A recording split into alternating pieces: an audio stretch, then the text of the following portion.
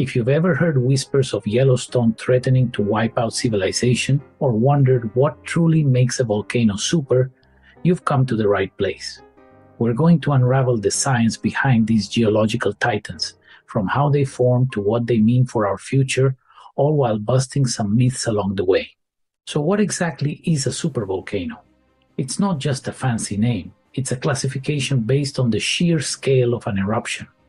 Most geologists, especially in the US, agree that a super eruption must rank an 8 on the Volcanic Explosivity Index. This means it ejects a minimum of 1,000 cubic kilometers of material. That's a lot of ash, pumice, and lava. To put that into perspective, the famous 1980 eruption of Mount St. Helens, which turned day into night in some places and blanketed 11 US states with ash, was a VEI 5, ejecting about 0.67 cubic kilometers of material. Imagine that, but 500 times stronger at a minimum.